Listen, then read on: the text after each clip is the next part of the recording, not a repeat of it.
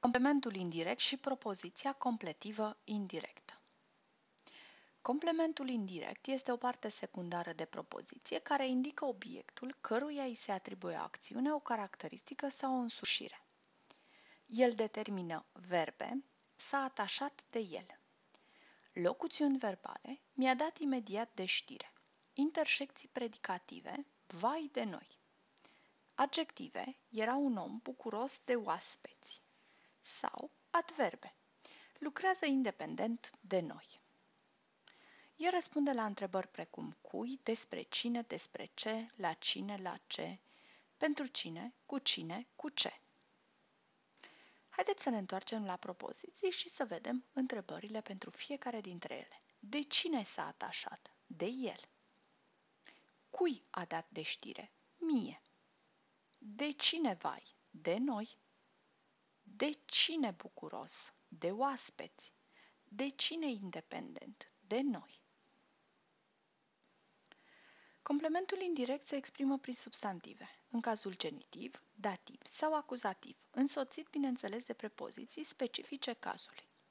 Pentru genitiv avem prepozițiile asupra, contra, împotriva. Luptă con- împotriva dușmanului sau contra dușmanului, contra cui, împotriva cui, împotriva dușmanului. În dativ nu există prepoziții care să, ceară să ajute la formarea complementului indirect, alături de un substantiv.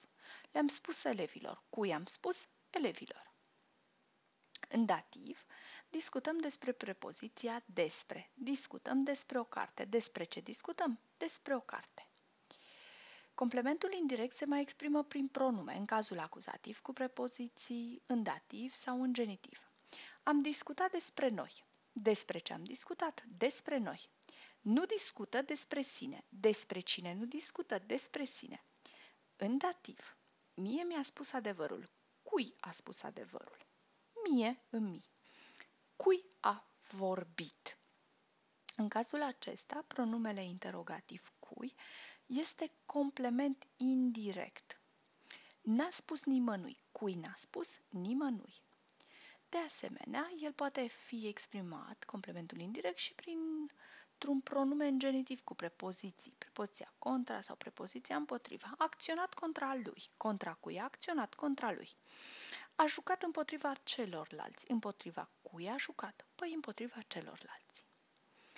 Complementul indirect se mai exprimă prin numeral. În cazul acuzativ, am discutat despre ambii, nu discută despre o treime. Despre cine am discutat? Despre cine nu discută? Păi despre ambii, despre o treime.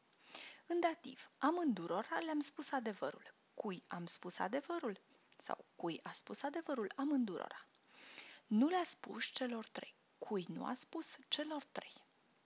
În genitiv, un numeral poate fi însoțit de prepoziție și să aibă rol de complement indirect. A acționat contra unei cincimi, contra cui a acționat contra unei cincimi. A jucat împotriva celui de-al doilea, contra cui a jucat.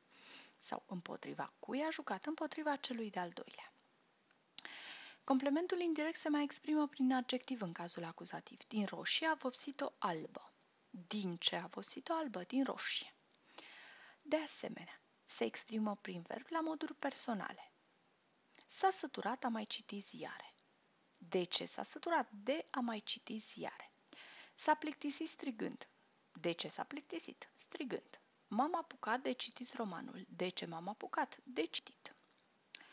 Propoziția completivă indirectă este cea care are în frază rolul unui complement indirect pentru un termen din propoziția regentă. Să vedem.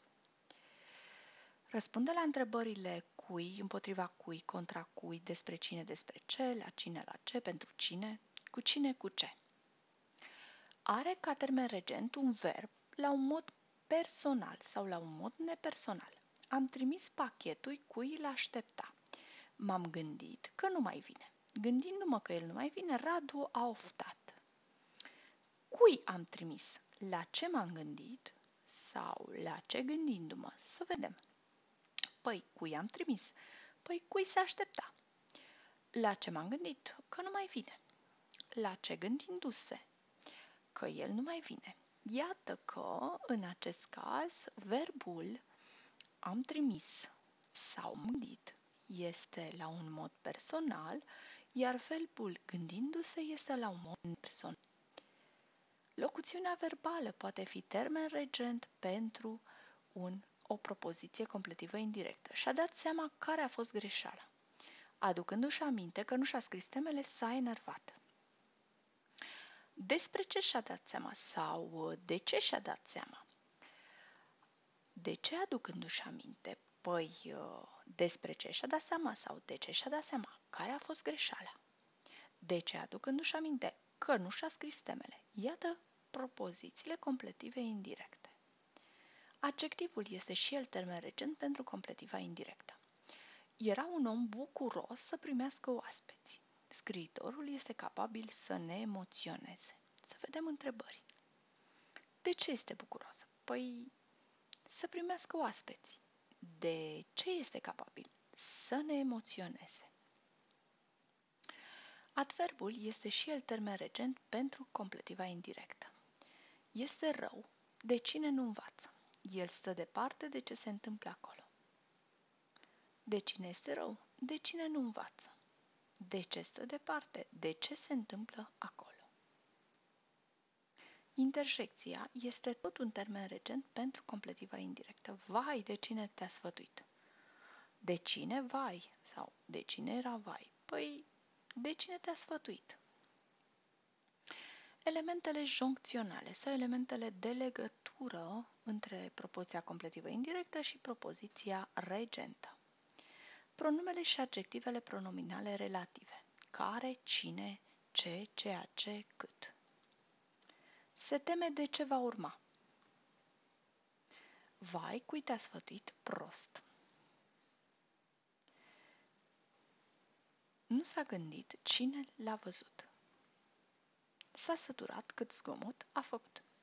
Iată în cazul acesta că propozițiile completive indirecte sunt se teme de ce va urma. De ce se teme? De ce va urma? În această situație se trece la faptul că va scrie legat deoarece este un verb auxiliar și nu este un pronume și un auxiliar urmat de un participiu trecut. Aceasta a fost o greșeală. Va scris deslegat în cazul viitorului. Vai, cui te-a sfătuit prost? Cui vai, păi, cui te-a sfătuit prost? Nu s-a gândit cine l-a văzut. La ce nu s-a gândit? Cine l-a văzut? S-a săturat cât zgomot a făcut. De ce s-a săturat? Cât zgomot a făcut? Și-a adus aminte care elev a răspuns bine. De ce și-a adus aminte care elev a răspuns bine? Alte elemente joncționale sunt și adverbele relative. Mă gândeam unde s-a dus. Mi-am adus aminte când am greșit. Mă miram cât era de inteligentă. La ce mă gândeam? Unde s-a dus? De ce mi-am adus aminte? Când am greșit. De ce mă miram? Cât era de inteligentă. Pronumele și adjectivele pronominale nehotărâte pot fi și ele elemente introductive, joncționale. Ele sunt însoțite de obicei de prepoziții. Mă gândesc la orice vrea. Se teme de oricare băiat îi iese în cale.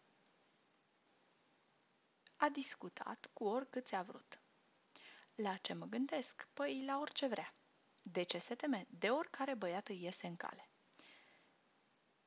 Cu cine a discutat? Cu oricâți a vrut. Conjuncțiile subordonatoare sunt și ele elemente introductive. Să vedem. Mă tem că nu voi mai veni. De ce mă tem? Că nu voi mai veni. Mă gândesc dacă am procedat corect. La ce mă gândesc? Dacă am procedat corect.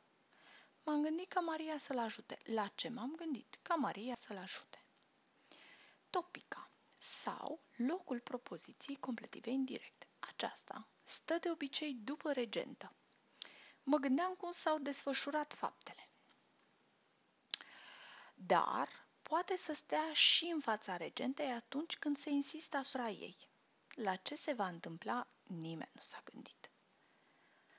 În general, atunci când propoziția completivă indirectă stă în după regentă, ea nu se desparte prin virgulă. Dar, atunci când stă înaintea regentei, ea se desparte prin virgulă, deoarece senzația este de intensificare a importanței sale. Îi se acordă mai multă importanță propoziției completive indirecte. Vă mulțumesc!